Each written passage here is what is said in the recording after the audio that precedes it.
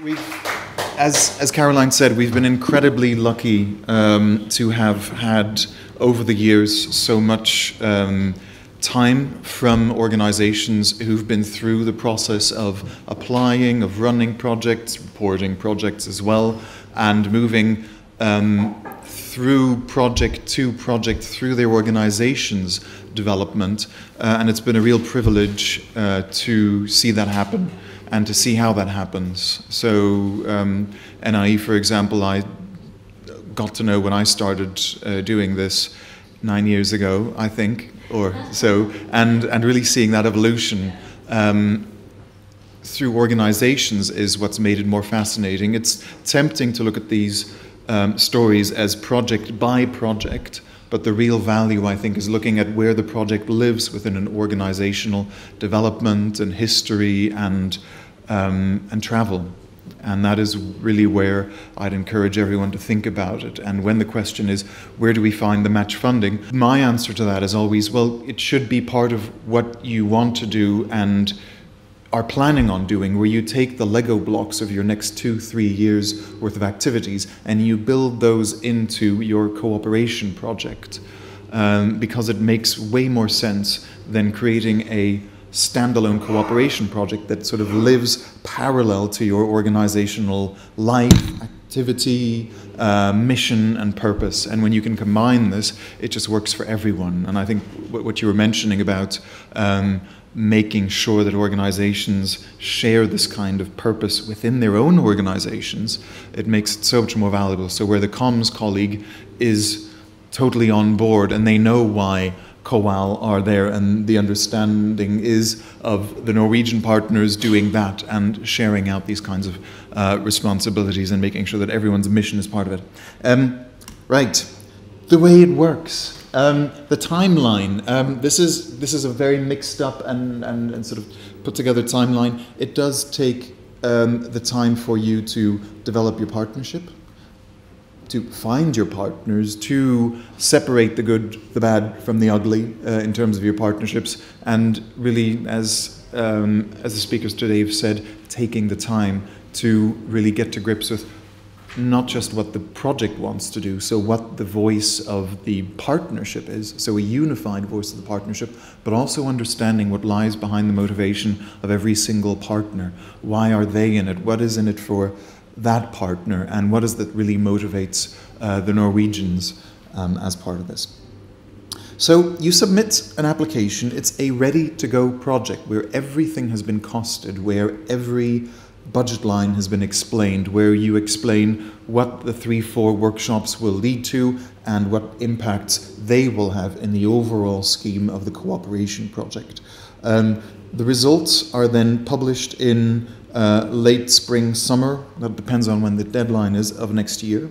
At the beginning of the project, typically you get um, most of the grant up front. That depends on the size of the lead partner and um, the what is called financial capacity of the lead partner. So if you are of sound financial capacity, you will get the majority of the funding at the beginning of the project, and as a lead partner, you can then cascade that money, uh, those grants down to to the other partners, and you and the partners decide on the schedule of how that works.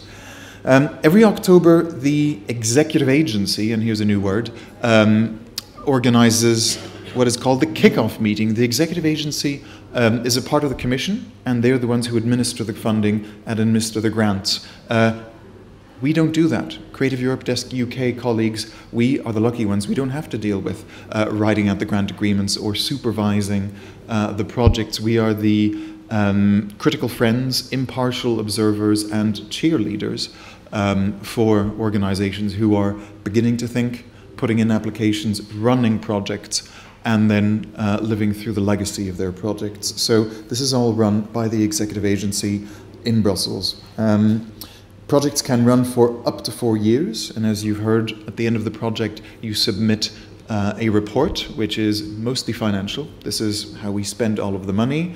Um, that is how we got our match funding is in, and look, it matches perfectly with what was initially submitted at the beginning of the project. And you can change the budget over the, uh, over the cycle of the project as well. this is a little bit more for the advanced applicant, um, and there is lots of new language to learn. And Julia uh, and I and the rest of the team are there to help guide you through this new language. Um, match funding, very important. Uh, Sholeh was spot on. You can absolutely use staff time as part of your partnership contribution to the project, but it needs to be real staff time. So it needs to be um, monetizable in terms of someone's job description and hours spent and timesheets. So you can say, right, uh, producer X spends three days of her working week uh, on project um, Y, and this is how it works. Um, what you cannot use um, are what we usually called in-kind contributions. So volunteer time, for example, you cannot use because it cannot be cash flowed through an accounting system. It, money needs to be seen to be changing hands. You need to be able to follow income and expenditure through its life across bank accounts and through accounting systems. This is the only way for the agency to see whether something has actually happened in practice. Remember, they are doing monitoring on behalf of many, many countries' taxpayers who need to know how money is spent and also how money is spent against match funding. So they need to be able to uh, assess from quite a distance and sometimes with several years in, later to see how something happened. And the easiest way for them to see is to be able to see is has cash changed hands? Was something delivered? Uh, were these people paid? And did the artists um, actually travel? So this is a really important part of it. It doesn't need to be difficult. It doesn't need to be long. But um, as Sholeh and Sarah said, you do need to be prepared and well organized. And this is why um, it is very good to go in with um, determination, resilience, and um, good preparation as well, and with some excellent advice from us and uh, Sarah Sholeh and the other cohort of organizations who've been through this. So this is why we put um, people like Sarah and Sholeh to the front of these kinds of events um, because it's way better hearing it from them from, than from uh, than from us. Um, very quickly, this is the scorecard against which application is assessed, and you'll see this kind of mirrors what um, Sarah and Sholeh were talking about. Um, relevance. Is your project relevant to the Creative Europe program? Is, is this just someone's project, something they want to do, or is this actually a project that responds to the aims and the ambitions of Creative Europe? Does this project speak Creative Europe? Um, quality of the content and activities is how well will this project be run? Are the people who are running this really good? Are they able? Are they prepared? Do they have a history? Do the organizations running this have a history? Are they brilliant? Um, communication and dissemination, two separate things. How will you promote the project, what the project is doing, the festivals that are happening, the capacity building workshops? Will you be tweeting? Are you going to have um, knowledge sharing conferences? How are you going to get the message out there? And this kind of runs into dissemination.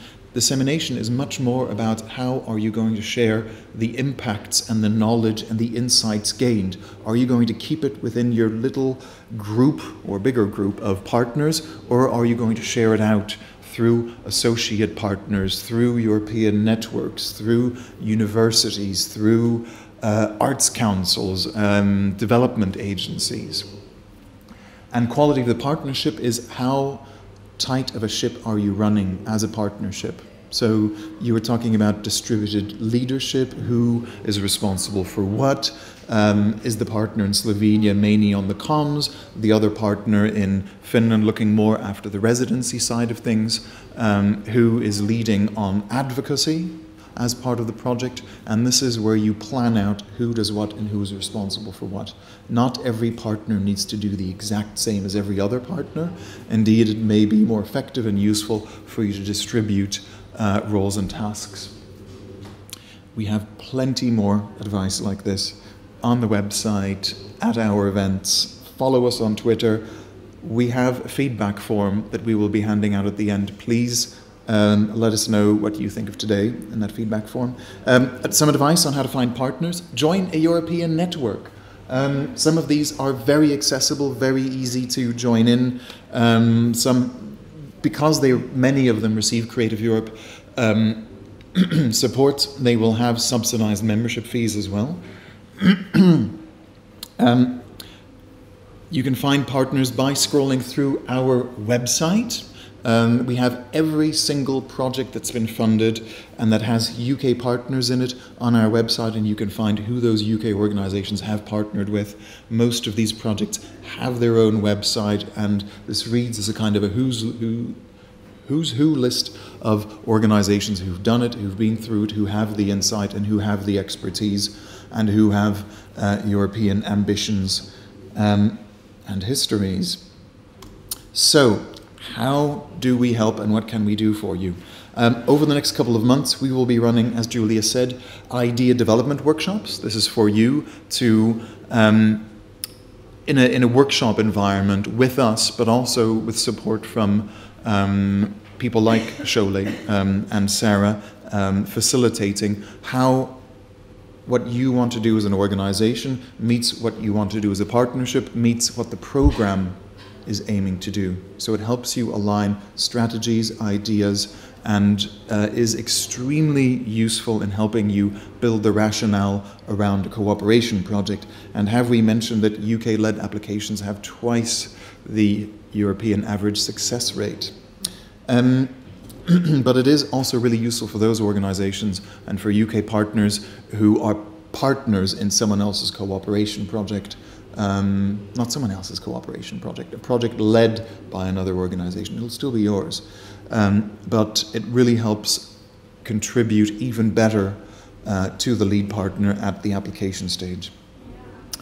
We will, if you give us sufficient notice, feedback on drafts. If you have a one pager of an idea at this stage, we can give you some feedback on that compelling one pager further along the application process. If you would like us to check section C6, which is the detailed, no, no, no, the short project description, and that is in essence the elevator pitch where you have 5,000 characters to pitch the project in a short paragraph. Um, this is vital for you to get right, and that's something that is very easy for us to feedback on um, but also the detailed project description, which is way longer. Um, have we mentioned our award winning website, which has case studies, uh, a section on how to find partners, and, as we said, um, previously funded projects? Um, I also promised some of you, um, did we mention also that we will be gathering at the pub two minutes down the road, if that much, uh, for a drink later on? It's just next door. Um, so if you want to uh, chat uh, over a refreshing beverage uh, in an air-conditioned environment, do join us there. We can also talk exciting things like Brexit.